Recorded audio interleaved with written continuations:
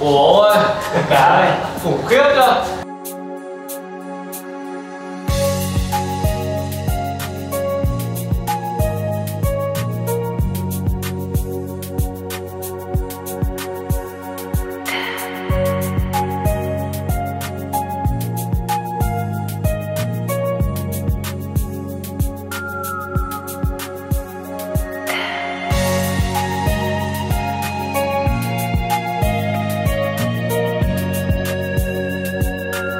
Chào Tùng, hôm nay thì rất là vui vì có cơ hội được giao lưu với bạn để mình có thể là làm một video phỏng vấn bạn và chia sẻ cùng với cả các anh em chơi về những cái kinh nghiệm chơi về chiếc bể cá cầu vồng tuyệt vời của bạn và rất là cảm ơn vì hôm nay bạn đã dành chút thời gian để cho Green Happiness có cơ hội để phỏng vấn.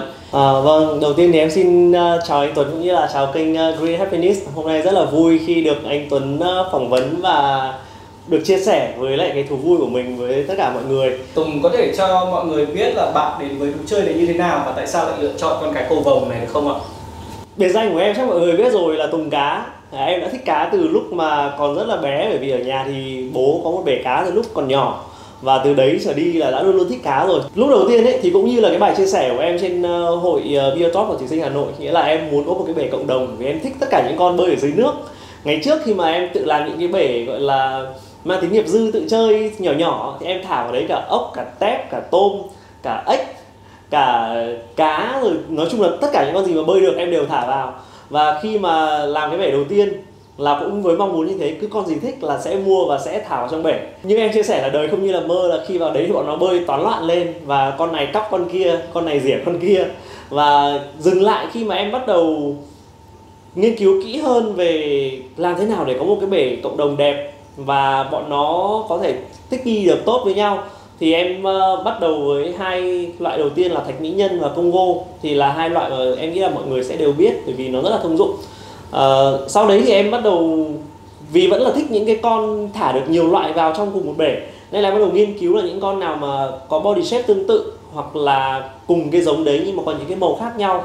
Thì loại thứ hai em bắt đầu mua về đấy là con ờ, uh, Trifasciata và táo đỏ. Và cái mà điểm mà em thích ở cá cầu vồng đấy là lúc mà mới, mọi người mà mới ra hàng để à, các aqua để mua ấy, thì mọi người sẽ hình dung, sẽ thấy là trông con cá nó chả khác gì con cá giết cả.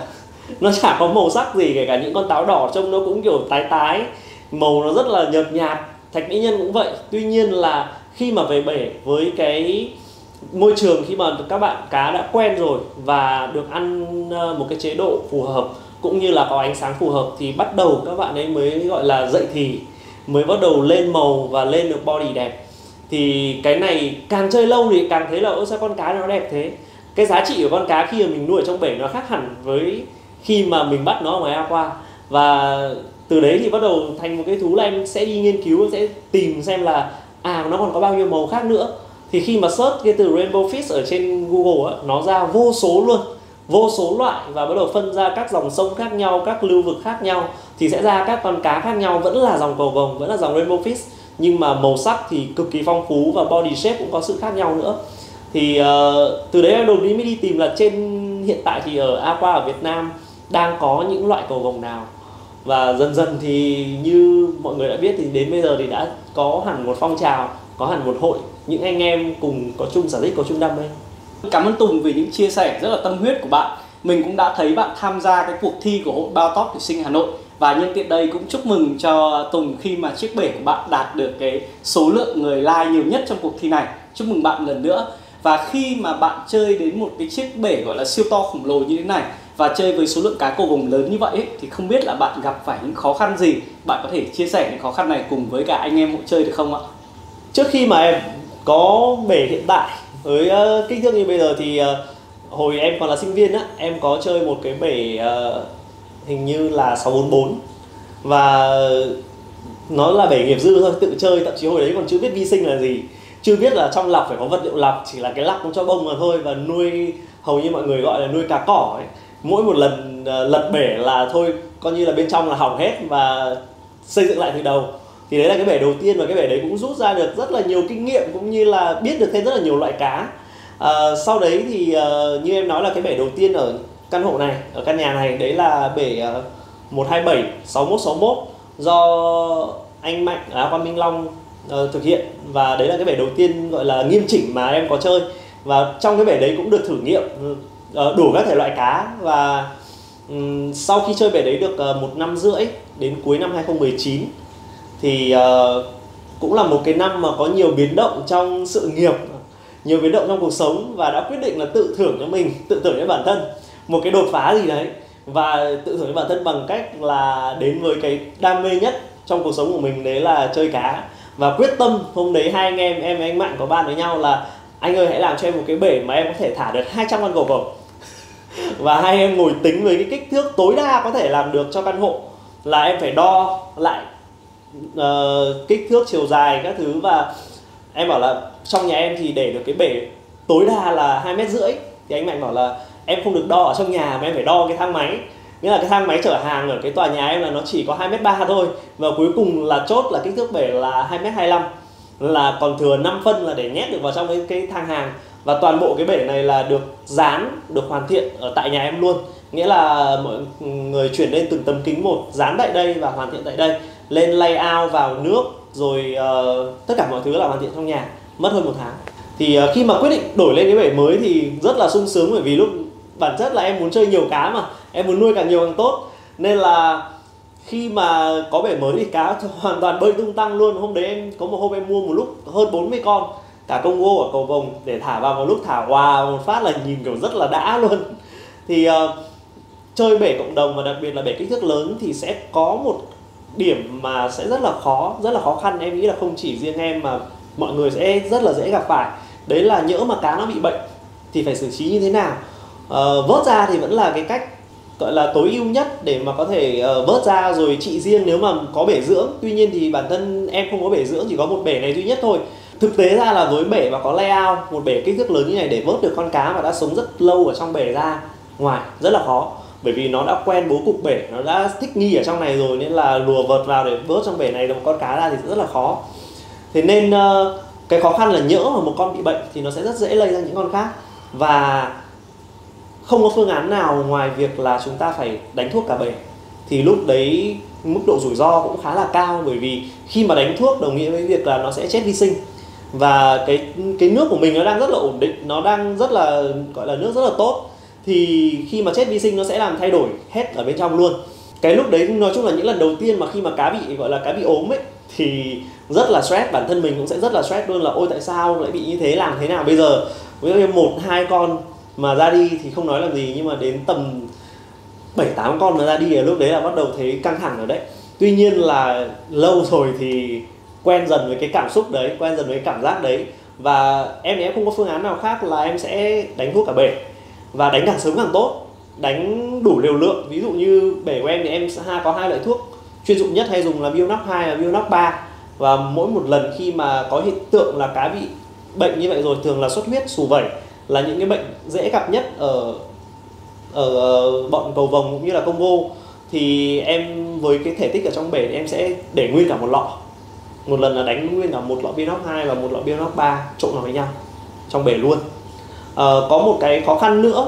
Khi mà em chơi cầu vồng mà em thấy là chắc cái này thì là khó khăn riêng của em thôi chứ không phải là khó khăn chung của mọi người. Em thấy nhiều người vẫn vẫn chơi được đấy là kết hợp nó với cây. Là khi mà em làm bể này đầu tiên á, thì hiện tại giờ mọi người thấy là trong bể là có hai loại cây chính thôi là chủ yếu là giấy. Và giấy ở đây cũng chủ yếu là giấy cà phê. Còn uh, cây còn lại là lưỡi mèo. Trước khi mà em chuyển sang giấy và lưỡi mèo là em chơi full dương xỉ sẽ có dương xỉ uh, ờ, châu phi dương xỉ lá kim một số loại dương xỉ khác nữa. Hoàn toàn là dương xỉ không phát triển được ở trong bể này. Tuy nhiên em thấy vẫn có rất là nhiều anh em ở trong hội vẫn có thể chơi bể cầu vồng, ở trong bể cầu vồng có được cả các loại dương xỉ. Thì đấy cũng là một cái mà chắc là em sẽ phải hỏi kinh nghiệm thêm là làm thế nào mà anh em có thể chơi được cả cầu vồng mà chơi được cả dương xỉ ở trong bể. Rồi, nếu mà có một lời khuyên dành cho Tùng đó là nếu mà muốn chơi được cả dân sỉ và cả cầu vồng thì cần phải giảm con số cá đi khoảng 50% thì Tùng mới chấp nhận đúng không ạ? à, nếu mà ừ, đưa ra một cái thử thách như thế thì chắc chắn là em sẽ chọn cá rồi. Em đã từng nghĩ đến việc là nếu sau này khi mà em chán layout này thì em sẽ chuyển sang một layout mới là chỉ có đá và cá thôi. Để cho nó nhàn không phải uh, mất thời gian chăm sóc quá nhiều đến cây. Bởi vì tùng cá mà luôn luôn chọn cá đầu tiên phải nói là đúng là khi mà chơi một chiếc bể cá to như vậy thì gặp phải rất nhiều những khó khăn. Và ngay cả với bản thân mình cũng thế thôi. Chơi thủy sinh thì mình thường là mình sẽ ưu tiên cây hơn là ưu tiên cá. Và nhân tiện mình cũng hỏi chút mình thấy cá trong bể của bạn rất là đẹp thì không biết là bạn có bí quyết gì để chăm sóc và cho những cái chú cá này ăn không ạ? Đặc biệt là liên quan đến vấn đề thức ăn dành cho các loại cá cầu vồng này. Em thì uh, ngày trước em chỉ 100% là cho ăn khô. Nghĩa là trước đây thì em chỉ cho ăn mỗi tetracolor thôi. Duy nhất một loại đấy em không cho ăn một cái gì khác. À, gần đây thì em có mix giữa tetracolor và tetra pro thì em có trộn hai loại đấy chung với nhau và mỗi lần ăn thì em sẽ đổ chung cả hai loại đấy luôn. À, ngoài ra gần đây nữa thì em có thử nghiệm cho cá ăn tươi. Đấy là em cho ăn uh, tim bò kích đỏ. À, tuy nhiên là uh, khi mà cá ăn tươi á thì bọn nó sẽ rất là háu ăn cái loại thức ăn tươi đấy đầu tiên có thể nó sẽ chưa biết là đấy là thức ăn nên là nó sẽ không cảm thấy hào hứng lắm. Nhưng khi nó đã biết rồi thì thức ăn tươi bọn nó thích ăn hơn hẳn so với thức ăn khô. Và có một cái gọi là công dụng hữu hiệu nhất trong cái tên của cái thức ăn đã có rồi đấy là nó sẽ kích cho con cá lên màu cực kỳ tuyệt vời luôn. Tuy nhiên là với kinh nghiệm cá nhân thì em nghĩ là người chơi không nên quá lạm dụng cái loại thức ăn tươi này bởi vì uh, khi mà con cá nó đang quen giống như bản thân người cũng thế thôi khi mình đang quen một cái loại đồ ăn của Việt Nam thì không sao nhưng khi mình đi ăn một cái đồ ăn lạ của nước ngoài thì mình sẽ phải mất một cái thời gian từ từ để có thể quen được nếu không thì nó sẽ phản ứng ngay hệ tiêu hóa sẽ phản ứng ngay. Và bản thân cá cũng thế nên là uh, nếu mà mọi người có ý định muốn cho con cá hung hơn khỏe hơn và lên màu tốt hơn thì mọi người có thể cho ăn tươi tuy nhiên hãy cho nó ăn từ từ. Nếu mà ăn quá nhiều thì nó sẽ rất là dễ gặp vấn đề về tiêu hóa.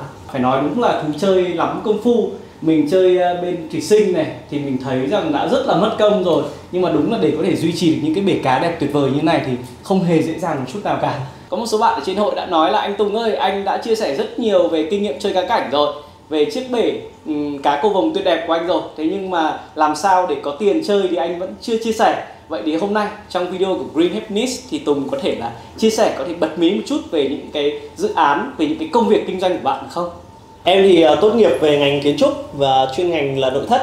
Uh, sau khi tốt nghiệp thì bắt đầu với một dự án khởi nghiệp đầu tiên đấy là tên là em đặt tên là Invoke Home chuyên về đồ trang trí nội thất và chủ đạo là về trang ga gối đệm. Thì uh, mong muốn đầu tiên đấy là em chỉ làm trong cái cộng đồng các anh em làm kiến trúc thôi. Khi mà mọi người uh, thiết kế lên các dự án về uh, căn hộ ba căn hộ cho khách hàng ví dụ như là các file về 3D Max về SketchUp uh, ờ, mà mọi người không tìm được những cái sản phẩm mà có trên thư viện ở ngoài thực tế thì bọn em sẽ cung cấp những sản phẩm đấy. Ví dụ như là tranh như là chai lọ như là cây cối và chăn ga. Thì uh, cũng rất là có duyên trong việc kinh doanh. Thì cái dự án Invoke đấy bắt đầu uh, mọi người bắt đầu biết dần đến và thành công trong thị trường bán lẻ. Thì uh, sau đấy đến năm ờ, uh, 2017 em đã mở thêm cửa hàng Invoke hôm thứ hai ở địa chỉ số 8 Lê Duẩn. Uh, tuy nhiên là khi mà kinh doanh ấy, thì nó sẽ nảy nở ra được thêm rất là nhiều những idea khác rất là nhiều những ý tưởng khác. Và bản chất là một người làm về nghệ thuật có rất là nhiều yêu thích đối với nghệ thuật với thiết kế và thời trang nên uh, cuối năm 2019 thì em mở sang một cái brand mới đặt tên là Draftman chuyên về thời trang nam. Là một cái đưa cái phong cách cá nhân của mình thôi. Nó là một cái gì đấy đôi khi có thể là nó sẽ hơi cực đoan nó sẽ hơi kén nhưng mà em vẫn muốn thể hiện cái phong cách đấy ra. Và hiện tại thì đang sở hữu ba cửa hàng như mọi người có thấy và đang cố gắng là để ở tất cả các cửa hàng đều sẽ có bể cá. Thường thì mọi người sẽ nói là cái thú chơi nói chung, hay là ví dụ như anh em ờ, những người cùng đam mê, anh em đồng ngư cùng đam mê với lại cá và thủy sinh, nói riêng, thì sẽ gọi là cái bể cá nó là tiêu sản. Nghĩa là chúng ta hàng ngày chúng ta sẽ bỏ tiền ra để chạy hệ thống lọc này, để bật đèn này, để mua tất cả những cái vật tư ở đây và mua cá, mua cây. Thì nó là một cái thú tiêu sản. Nhưng mà vì em là người kinh doanh thì em lại có một cái suy nghĩ ngược lại là nó giống như việc là chúng ta đặt một cái gì đấy nó phong thủy cái bể cá nó là cái phong thủy, nó là cái để cho bản thân mình xả stress mỗi ngày. Và khi mình được xả stress thì mình sẽ có thêm nhiều năng lượng để kiếm tiền hơn. Đó, và ví dụ như em đặt ở cửa hàng em cũng sẽ tính là à nó sẽ là một cái thu hút khách hàng hơn. Ví dụ thế thì đối với em thì nó không phải là cái tiêu sản nữa, mà nó là một cái gì đấy để hỗ trợ em kiếm được thêm tiền. Thì cái tư duy đấy làm cho em cảm thấy rất là thoáng. Không phải cảm thấy là ôi, tiết tiền thế, mỗi khi mình bỏ tiền ra mình đầu tư thêm một cái gì đấy cho cái bể cá của mình đấy là cái thứ nhất muốn chia sẻ cái thứ hai muốn chia sẻ. Đấy là em không biết là các anh có thể làm theo được không? Đấy là vì bây giờ em vẫn còn đang độc thân. Và em không có vướng mắc gì cả về gia đình hay là vợ con nên là có thể hoàn toàn thoải mái với thú vui với đam mê của mình. Còn chưa cái này thì nói trước bước hôm qua không không nói chắc được là sau này thì sẽ thế nào. Nhưng mà hiện tại thì cứ enjoy đi đã. Cảm ơn Tùng. Cảm ơn anh. Và chúc cho Tùng này cũng như là những cái dự án của Tùng này Envoke này rồi là Dropman này sẽ ngày càng thăng hoa hơn nữa. Vâng, để chúng ta lại còn có thể là được chứng kiến là những cái căn hộ mới này rồi là những chiếc bể siêu to khổng lồ mới. Vâng, và cảm chắc chắn ơn. rồi với một anh chàng à, hiện tại vẫn còn đang à, tài trí này và độc thân này đúng không? Thì sẽ có cơ hội là sớm tìm kiếm được một cô vợ phù hợp với gì ạ với à, đam mê này đam mê này vợ đúng không phải thích cá hơn để mình. làm sao mà thậm chí lại có thể là hậu thuẫn này ủng hộ chồng ờ, trong cái đồ chơi này hơn nữa để chúng ta được chứng kiến thêm những cái siêu phẩm giữa Tùng Cá và Aqua Milan phải không Vâng. ạ? Vâng. Đây thì ờ, chúc Tùng dồi dào sức khỏe và có thêm nhiều thành công mới. Vâng. Cảm ơn bạn đã tham gia cái cuộc phỏng vấn ngày hôm nay của Green Happiness. Vâng, cảm ơn anh Tuấn và chúc anh Tuấn cũng như là Green Happiness sẽ ngày càng đạt được nhiều view và nhiều subscribe hơn nữa À. và đặc biệt là chia sẻ được đam mê này đến với càng nhiều anh em càng tốt bởi vì em luôn muốn em luôn hy vọng là cộng đồng sẽ càng ngày càng mở rộng và càng nhiều anh em có thể chia sẻ đam mê Rồi, Vâng, cảm ơn Tùng rất nhiều nhé. Một lần nữa, một lần nữa. Và các bạn đừng quên là đăng ký kênh Green Happiness và ấn vào chuông để có thể xem thêm nhiều video của mình. Và đừng quên là nhớ ghé thăm Enbox Home để có thể chọn cho mình cái bộ chăn ga có đẹp tuyệt vời luôn ạ.